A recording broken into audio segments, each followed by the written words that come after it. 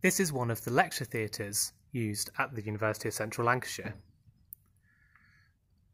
This one in particular is called the Mitchell and Kenyon Cinema, and as the name suggests, this is also used by the Students' Union Film Club as their cinema.